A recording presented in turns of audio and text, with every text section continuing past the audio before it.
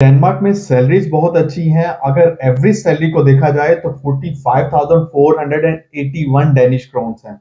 और अगर हम इसको यूरोस में कन्वर्ट करके देखते हैं तो तकरीबन 6,100 यूरोस बनते हैं। और अगर मिनिमम सैलरी को देखा जाए तो ये 17,000 डेनिश क्रोन्स हैं। और इसको भी अगर यूरोस में कन्वर्ट करते हैं तो तकरीबन 2280 यूरोस बनते हैं। इसी वजह से यहाँ पे क्वालिटी ऑफ़ लाइफ भी काफ़ी हाई है।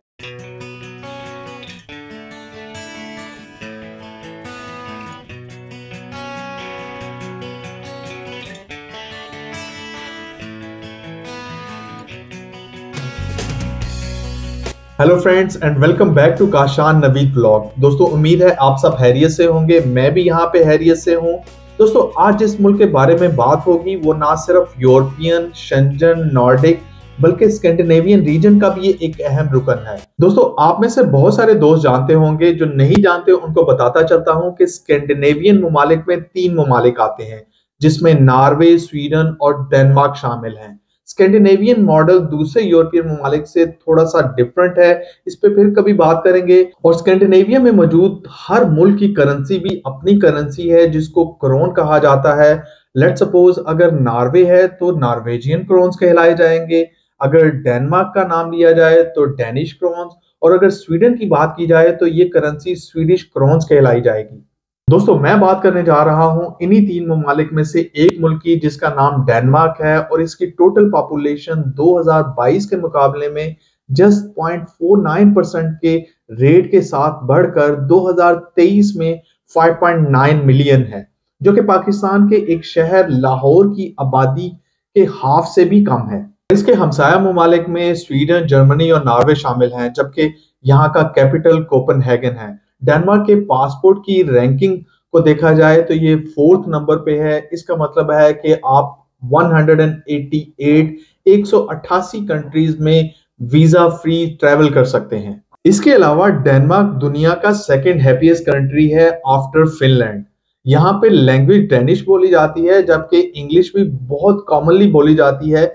इसका अंदाज़ा आप इस बात से लगा सकते हैं कि यहाँ पे फॉरेन वर्कर्स की टोटल तादाद तीन लाख सत्तर हज़ार के करीब है, जो कि टोटल वर्क फोर्स का 12 परसेंट है। फ्रेंड्स डेनमार्क में भी यूरोप के दूसरे ममालिक की तरह लेबर शॉर्टेज चल रही है और इस फैक्ट का अंदाज़ा आप इस बात से लगा सकते हैं कि 2022 के अदाद शुमार के मुताबिक डेनमार्क में ऑपरेट करने वाली 42 परसेंट कंपनीज़ को रिक्रूटमेंट में चैलेंजेस पेश आ रहे हैं। अब बात करते हैं कि डेनमार्क में किन शोबों की सबसे ज़्यादा ज़रूरत है। तो ये जानने के लिए कि किन शोबों की शॉर्टेज चल रही है। डेनमार्क की गवर्नमेंट ने एक पॉजिटिव लिस्ट इंट्रोड्यूस करवाई है, जो कि हर साल यकम जनवरी और यकम जुलाई को अपडेट होती है। डेनिश गवर्नमेंट का इस लिस्ट को इंट्रोड्यूस करवाने का मकसद ये है कि वो फॉरेन वर्कर्स जिनके पास एक्सपीरियंस है स्किल्स हैं, या फिर ज़रूरी तालीम है, वो अप्लाई करें और डेनमार्क आ जाएँ, ताकि वो डेनमार्क की लेबर शॉर्टेज को पूरा कर सकें।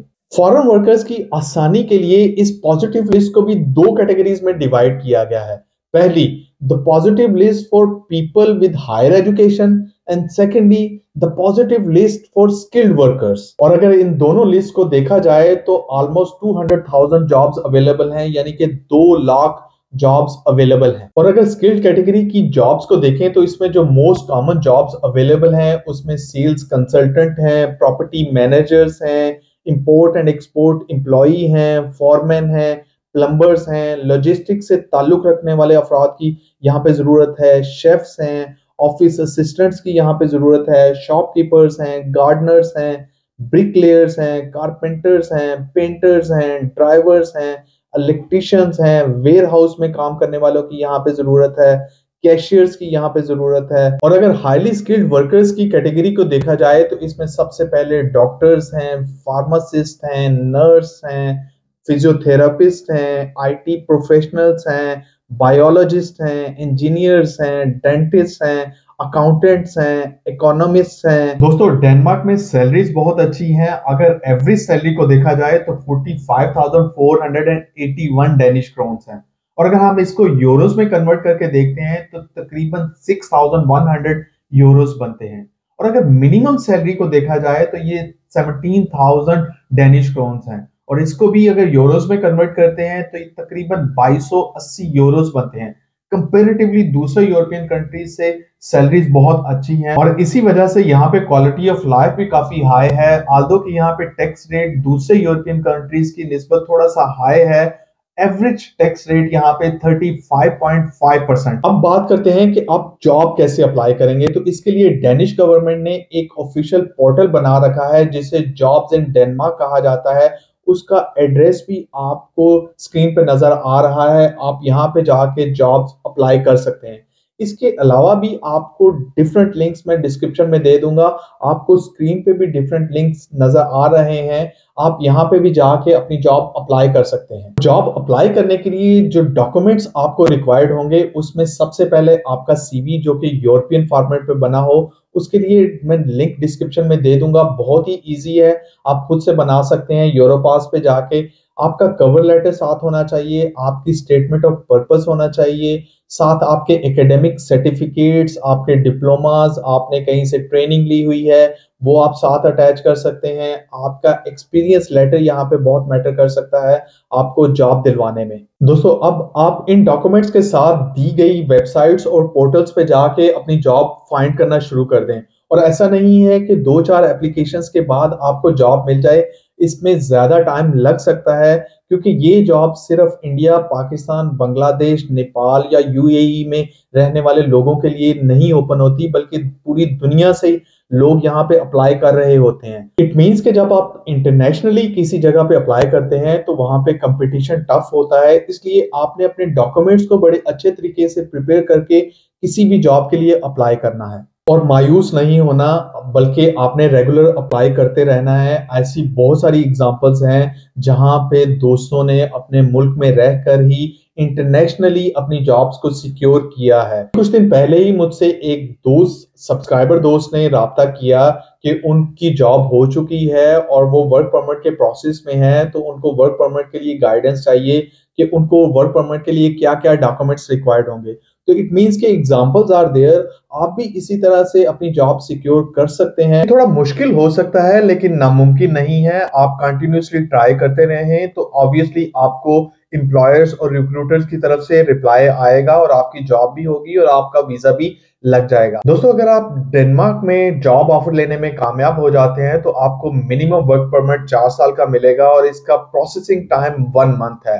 और इसके जो एप्लीकेशन फ़ीस है, वो चार हज़ार छह सौ सत्तर four thousand six hundred and seventy Danish krones है। अब बात करते हैं कि आपने वीज़ा के लिए अप्लाई कैसे करना है। अब आपके पास जॉब ऑफ़र आ चुकी है। सेकेंडली आपने अपनी जॉब को पॉजिटिव लिस्ट की कैटेगरी में देखना है कि क्या वो उस कैटेगरी में आती है कि नहीं आती। तीसरे नंबर पे आप Danish agency for international recruitment and integration की वेबसाइट जिसे सीरी कहा जाता है, उसकी वेबसाइट पे जाके आपने केस आईडी क्रिएट करनी है। आपका चौथा स्टेप आपकी फ़ीस को पे करना है, जो मैं ऑलरेडी बता चुका हूँ कि 4670 डेनिश क्रोन है 4670 डेनिश क्रोन है। आपको बता देता हूँ कि आज 28 नवंबर 2023 के रेट्स के मुताबिक एक डेनिश क्रोन पाकिस्तानी 41 रुपीस के बराबर है और इंडियन 12.23 रुपीस के बराबर है। फ़ीस पे करने के बाद आपने अपने सारे डॉक्यूमेंट्स को इकट्ठा करना है और वीज़ा एप्लीकेशन फॉर्म के साथ उन्हें सबमिट करवा देना है। वीज़ा अप्लाई करते हुए जो डॉक्यूमेंट्स आपको रिक्वायर्ड होंगे, उसमें सबसे पहले आपका पासपोर्ट आता है, जिसकी मिनिमम वैलिडिटी मैं हमेशा कहता हूँ टू ईयर्स होनी चाहिए। सेकेंडली आपकी पासपोर्ट साइज़ फोटोग्राफ्स थर्डली आपका जॉब ऑफ़र लेटर फोर्थली आपकी हेल्थ इंश्योरेंस अब जब आप ये सारे डॉक्यूमेंट्स अपनी वीज़ा एप्लीकेशन फॉर्म के साथ जमा करवा देते हैं तो एक माह के बाद आपको वर्क परमिट चार साल के लिए इशू कर दिया जाता है। दोस्तों, ये आज की वीडियो थी। उम्मीद है ये वीडियो आपको पसंद आई होगी। अगर ऐसा है तो इस वीडियो को लाइक कीजिएगा, अपने दोस्तों के साथ शेयर भी कीजिएगा, और अगर चैनल पे नए हैं तो चैनल को सब्सक्राइब ज़रूर कीजिएगा। फिर मुलाकात होती है एक नई और इंफॉर्मेटिव वीडियो के साथ। तब तक के लिए अपना ढेर सा ख्याल रखिएगा। मुझे इजाज़त दें। खुदा हाफिज।